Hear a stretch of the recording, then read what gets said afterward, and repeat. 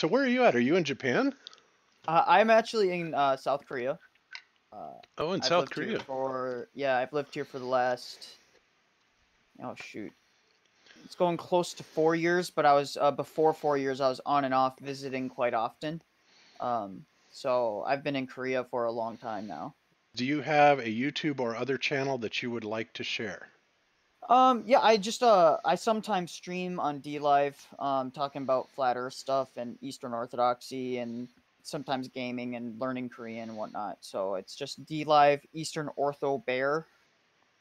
I Eastern uh, Ortho Bear? Are you a are you a bear, an Owen Benjamin follower? Um, I've been a Owen Benjamin follower for a long time, and the only reason I joined D Live was because he was on there. I'm like, you know what? Because he's the one that got me on here, I'll do the honor of putting Bear in my name. So, Awesome.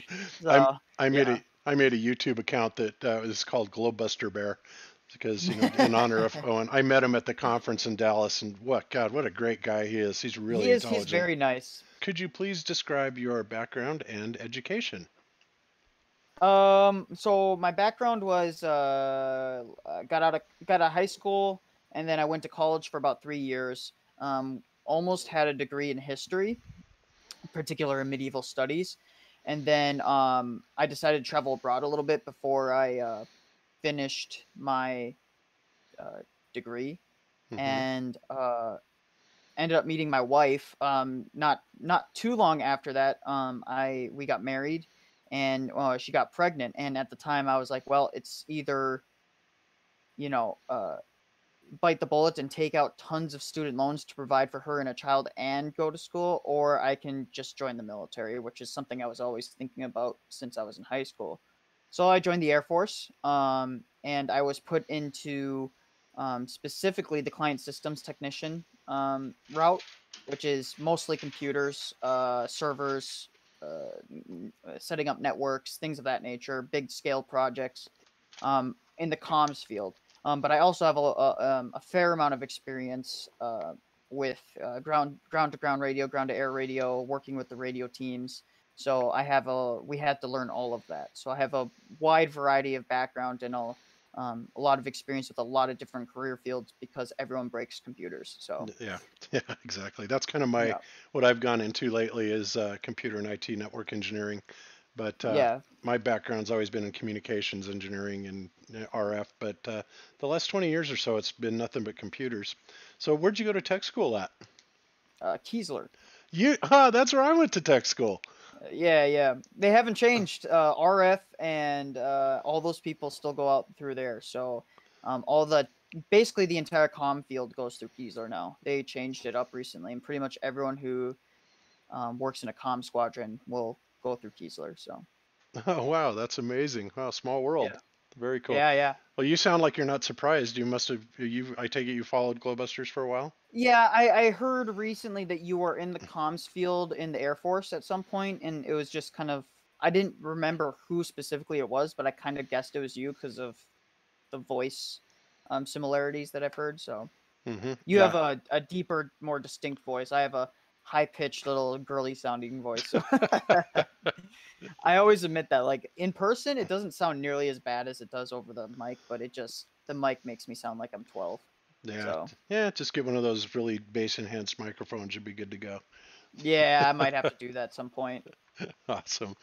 All right. So, and your current occupation then is still IT, I take it? Yeah, I was in IT up till recently. Um, uh, unfortunately, the Air Force messed up my out processing, so I the company couldn't keep me hired on because uh, my clearance is still being held with the Air Force, and they didn't release it on time. So I'm currently in the market looking for a new job, but um, that's basically my career field is IT and communications, Okay, cool. m- mostly for the DoD. Right, right. Uh, yeah, absolutely. Gotcha. So, how did you first uh, come upon Flat Earth, and uh, what do you think about it? Well, I've always heard about flat Earth. Um, from being in a history major, I you know heard about it here and there, but for the most part, they don't talk too much about what the early people thought of cosmology, to be honest, um, and um, what they thought about uh, the Earth as a whole. Uh, history, for some reason, tends to wipe all that. So I, I had a little bit of experience with that, but I didn't really start seriously getting into it until um, um, early 2019, and that's when I started looking into some of the stuff. Actually, the for my first experience was with Taboo Conspiracy, and I was like, oh, that's interesting, and kind of left it at there. And then it was when Owen Benjamin found Taboo Conspiracy that I actually was like, oh wow, that's um, a lot of compelling points, and that's when I started really digging into it and look uh, second guessing some of the stuff that I was uh, previously just taking for granted. So. Yeah, that's wow. That's been very, very recent then, because I remember when Owen did that video where he was highlighting uh, Ben's work. Uh, we were actually in North Carolina for the Flattoberfest, so that was around the 20th of October. So you've been you're brand new. Yeah, I'm pretty new. Yeah, um, but once I, but I'm, I've always been of the opinion that if something makes sense and it and and um, it's, and if I can't come up with a valid reason to um, reject it, I'm gonna probably just dig deep into it. And um, if I don't find anything that's super controversial, I'll probably just say, yeah, this is probably accurate. So I don't I don't tend to play games like that. I, I don't like it. I think people um, tend to rigid um, not like to rock the boat, but I don't really care about that. Like my parents threw a fit when I told them that I was thinking the Earth is flat. I was like, "Mom, I'm pretty sure the Earth is flat." Like uh, I'm looking into all this stuff, and I just can't see any any support for a globe Earth model, and they're just like, what are you talking about? Just flipped. My mom flipped. My dad didn't really care. He's like, eh, whatever. Believe what you want to believe. I don't care. You know? yeah, exactly. You know, I, I very much understand, you know, your quick conversion because honestly, I had been looking at, at NASA and, you know, their fakery and stuff for a long time, but I yeah. was thinking, you know, it was for totally different reasons. And, you know, all it really took was one uh, blog post on uh, uh, Clues Forums and I read that, and the guy made a beautiful post, and he made all these points, and you know, it just all hit me. All my pilots training, all my microwave background, all that stuff hit me, and it's like, yeah. oh my god, there it is. There's the answer. So. Uh, yep. And I was same for me. I always questioned them. I never believed the moon landing ever since I was in like eighth grade. Um, actually, had, it's funny. I had a science teacher, um, and it was I, I loved this science teacher. He he taught uh, astronomy, and um, when I was younger, he taught he he played two videos. One was like kind of a a um, video that a documentary debunking the moon the moon landing, right? Mm-hmm. And then he would play the counterpoint to it. And the counterpoint was so laughably bad that I was like, "There's no way we went to the moon. It's a bunch of BS." And so I never bought the moon landing stuff, but I never really second guess like globe earth model because it you never really had to it was always just a given going you know growing i'm semi younger than most people i'm 26 mm-hmm. um so you know growing up i was you know i was a er, late 90s baby early 2000s and all of this was a given there was no guessing second guessing any of that stuff um so tell me a little bit about you know what makes you think you know at least professionally from your job and everything uh, and people you've dealt with in your job that uh, you know lead you to believe also that the earth is flat. So in my career field i i, I have the the blessing and the curse of interacting with a, wide variety of career fields in the air force. So i i worked with everything from pilots to generals to intel to uh, ground to air radio. Um, I worked a lot with their RF transmissions guys because um, our career fields were very closely linked. I, I, worked on a lot of big projects with them, so I had to have a general understanding of a ton of com fields, including RF transmissions. And um, it was it was it was once I started believing in the flat Earth stuff, and once I started being convinced of that, I started you know going back in in my head and going through some of the things that I was questioning, right? So, so some of the things that I did in my career field, and um, ground to air radio was what really lit a green light in my head. I was like, whoa, that doesn't make any sense based on what they teach us in tech school, and based on what they teach us in the uh, um, in the manuals on how our ground radar technology and uh, ground to air radar technologies uh, works, whether when we're sending radio signals to planes and stuff like that None of mm-hmm. that makes sense with the globe model based on the ionosphere. And I was like, the ionosphere completely contradicts what we do um, in our career field. I said it makes it nearly impossible um, if what they're saying is true. Now they could probably come up with some convoluted excuse, but it just doesn't make sense. So I remember it was I think it was a uh, I'd put all the puzzle pieces together for the ground to air radio stuff uh, when you guys had a uh, a podcast about the very first radio long distance radio transmission. hmm Um, I can't remember who did that. Um, it's I'm still blanking on the name, but um, I remember everyone thought all the all the major scientists of the day said there's no way you can be uh, send a radio wave that far because of the curve of the Earth. It's going to stop. You know, it's going to block it. Yeah, it was Marconi, by the way. Mhm. And and and I was like, well, that that makes sense because the the the idea of the ionosphere wasn't even theorized at the time. hmm And I'm like, if they didn't theorize it, when you're sending a signal, a radio wave signal into the air, there should be a mathematical curve that you can measure. Uh, Um, so if you're sending a frequent uh, a radio wave frequency at a certain um, level into the ionosphere, we should be able to at, at on some level be able to measure the mathematical curve of how much the ionosphere curves the the radio waves. Right. but he didn't take any of those calculations into consideration. So if that's the case it was either a miracle he managed to send it to the right spot because if he didn't do any of those calculations how did he hit the right spot? How did he even know it was going to go to the right area so either and so i'm like for for for that's one pr- major problem with the ionosphere is they theorized it but the person who got the radio signal to go there to begin with didn't even take the mathematical equations into account so how does that make any sense at all as to um how it works exactly. um and and then and then if you think about um the ionosphere is theorized to be part of the atmosphere right? It's a layer of the atmosphere but it's not a thick band. So when you're taught about it in school they don't really go into much detail as to what it is because they don't actually have much evidence for what it is. They just kind of generally give you this kind of hand waving explanation that it's a part of the atmosphere. But if you know anything about air and the atmosphere in general, you know it's not like a thick band. Like all these different layers of the atmosphere aren't a band, they're graduations. So they slowly become thicker and thicker until they meet a certain threshold of being mostly of one thing. That's why they call it a different layer.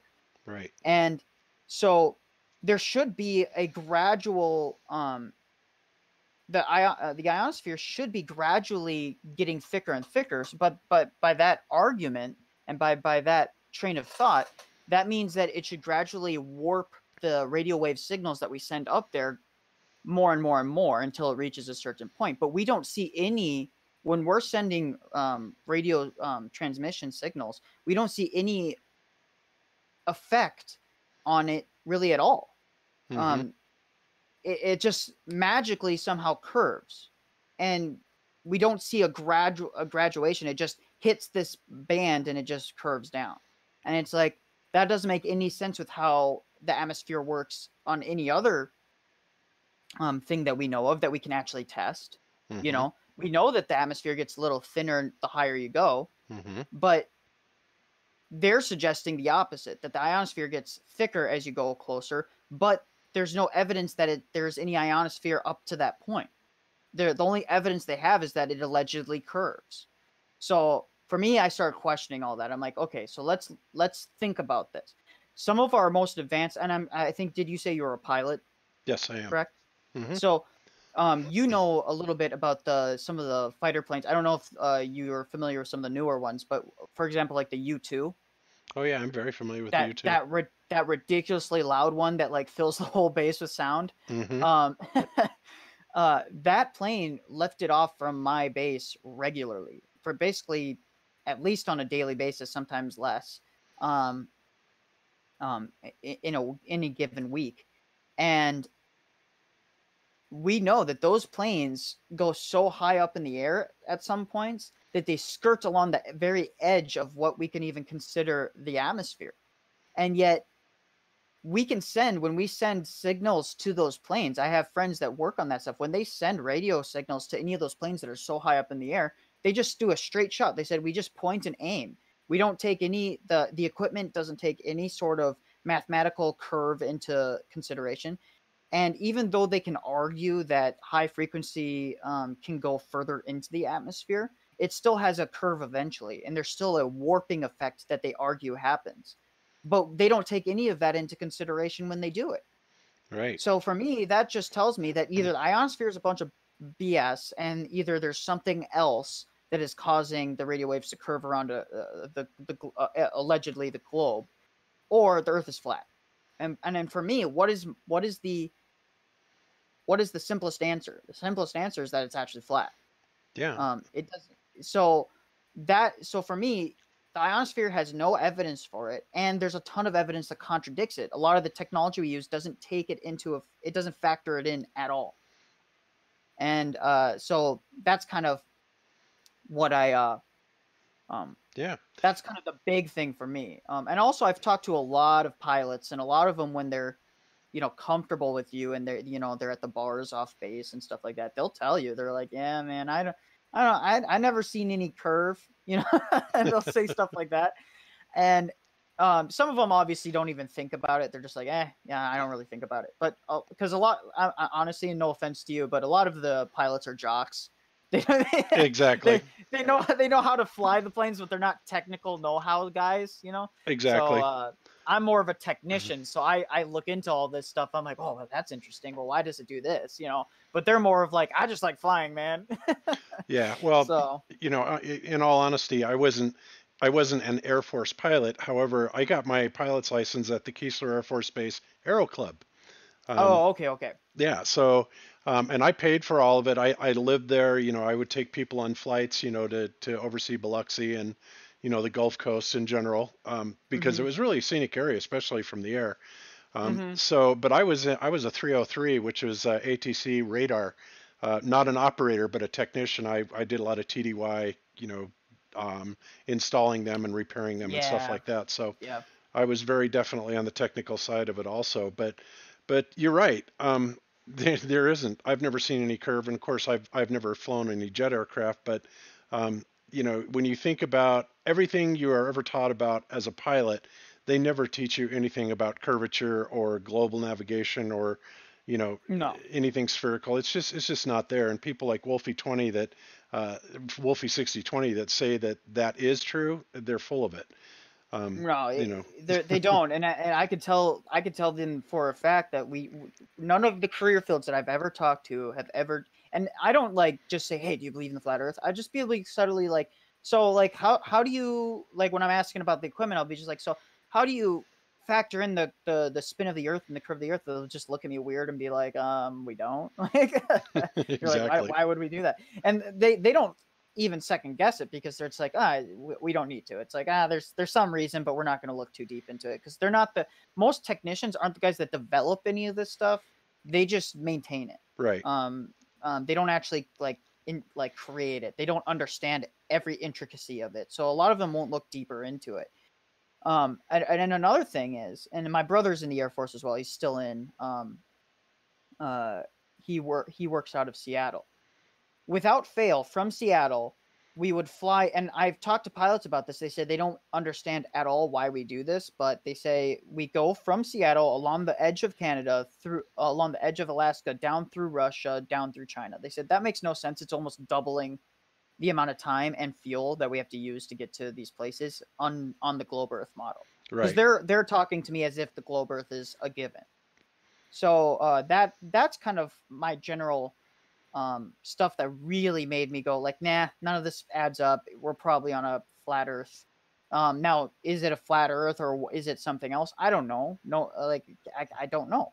But I do know that it, it, there is no significant curvature and there's no nothing to suggest that we're a spinning globe. Right. So. Yeah. Well, I I certainly believe that it's flat. I you know we've done enough tests and you know uh, uh, all my research lead me to believe that you know it's absolutely flat, but um, you know, how long it goes or how far it stretches, I have no idea. But um, so getting yeah. back to the RF communication stuff, I just wanted to make a couple Sure. comments about that. But yeah, I'm very familiar with the U2 plane, and it's uh, it's probably up there, getting close to the D layer of the ionosphere, the so-called ionosphere, um, which Yeah. starts at around 60 kilometers um, and goes up to about 80 kilometers, something like that. Um, and I don't I don't think that the U2 could possibly fly that high, but maybe, you know. Um, It skirts along the edge, if I remember. yeah. And and then of course after the D layer comes the E layer, and the E layer is where I have found a lot of interesting anomalies. I mean the E layer, which starts at basically about 62 miles or 100 kilometers, all kinds hmm of things seem to stop there. And to me, that's the hard barrier firmament, if you will, um, uh, that I think is is actually there, and I think there's a lot of evidence for it. But uh, I think in between the D layer and the E layer, if you are down in the lower bands, like the HF bands, um, that you can have what would be kind of a ducting effect in between those because you know as I'm also a ham radio operator and one of the hmm things they taught us in ham radio is you know the way that propagation works in the HF bands which would be like 3 to 30 megahertz or Yeah, know yeah, 1 yeah. to 30 etc is that you know you you fire off your Yagi it bounces off the ionosphere comes down bounces off the earth then it boun goes back up and bounces off the ionosphere and it'll actually go around the world doing that and of course, now, you know, the more I've learned about it and the more I think about it, it's like RF signals do not bounce off of the ground in general. They can bounce off of things on the ground, hard things like metal things like that, but it is the natural it's the natural way of things for uh, electromagnetic energies, et cetera, to return to Earth ground and not leave it again. So, you know, I started thinking about that, and that, you know, became instantly you know, BS for me because I was trying to figure out, well, then how are we getting these long Yeah. distance communications? And uh, yeah, I mean, obviously there's line of sight, which is which explains most of it. Um, but I believe that uh, uh, atmospheric ducting is also a very big part of it. Um, that can, you know, actually facilitate like what's called QRP or low power communications.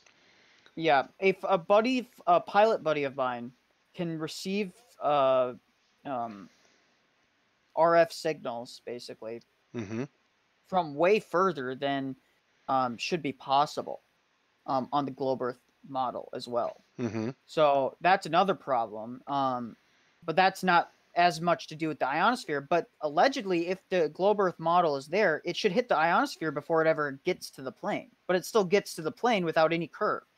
And Right. like I said, no one factors in any sort of distortion effect from the ionosphere in their equipment or in their mathematics. And I, I, I think the the big nail in the coffin is that original test.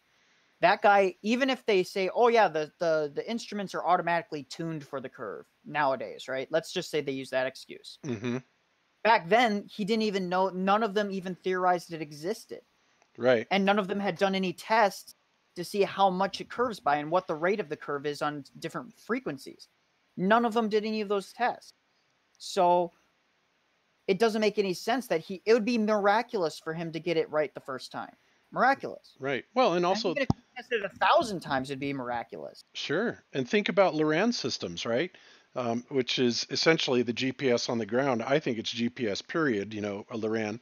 But, you know, they're supposedly synchronizing these signals, you know, down to the microsecond, uh, if not even quicker than that, to be able to give range and, and uh, ranging and motion, right? Speed detection, hmm et cetera. And it's like, how could that possibly work when the Loran stations are, you know, 60, 100, 200 miles apart? Um, Yeah. you know they you can't you cannot say well it's going up inducting or it's skipping or anything like that because that obviously would take a lot of time so i mean there's a lot of problems in rf propagation that Yeah. disprove you know the curvature of the earth Based on what they teach us in tech school, and based on what they teach us in the uh, um, in the manuals on how our ground radar technology and uh, ground to air radar technologies uh, works uh, when we're sending radio signals to planes and stuff like that. None of hmm that makes sense with the globe model based on the ionosphere.